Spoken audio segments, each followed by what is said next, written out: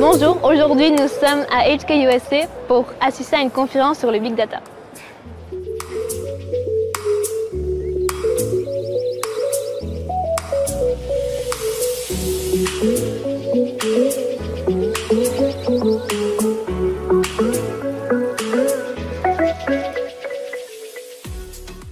Quelle que soit un peu l'entreprise dans laquelle tu travailles, maintenant on se dit qu'il euh, y a un intérêt à récupérer les données que euh, tu, peux récupérer. Hein. toutes les données que tu peux récupérer, c'est big. Hein. tu, tu, tries même pas au début sur tes utilisateurs, le travail que tu fais, etc.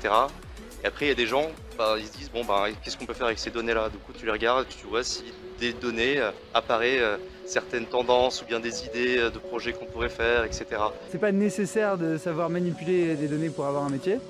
Mais euh, c'est sûr qu'en ce moment, il y a de plus en plus de métiers, de plus en plus d'offres d'emploi qui nécessitent d'analyser des, grands types de données. Après, le big data, c'est quand même un mot très générique qui veut juste dire qu'il y a de plus en plus de données aujourd'hui et qu'il faut savoir les traiter.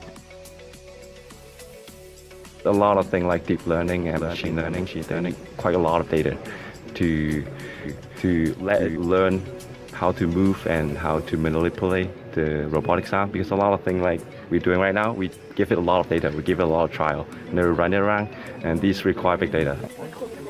Uh, what is big data for you? For me, okay. Uh, big data is leveraging the amount of data that we have in this generation generated by also electronic devices and leveraging the use of the volume and the massive amount of the data towards specific usage in different fields.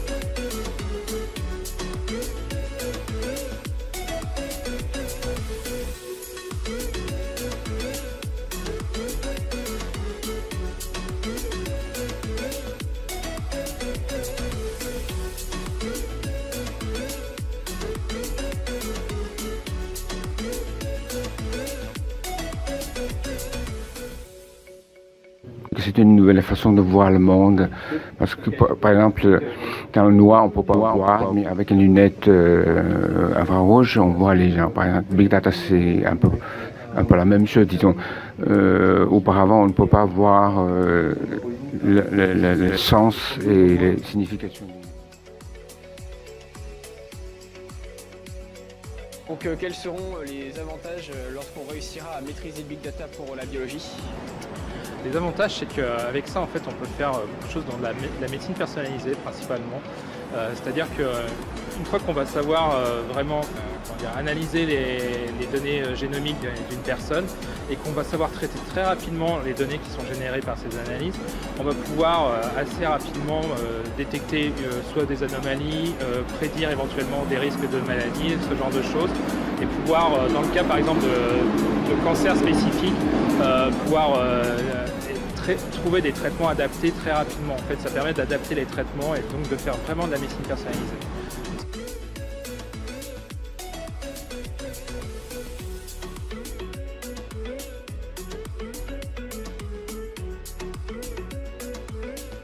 Euh, avec la disponibilité euh, de plusieurs types d'informations qu'on a aujourd'hui sur, euh, sur les patients, qu'on collecte à partir des digital devices qui mesurent plusieurs informations sur nous et qu'on collecte aussi à travers le, séquençage de génome.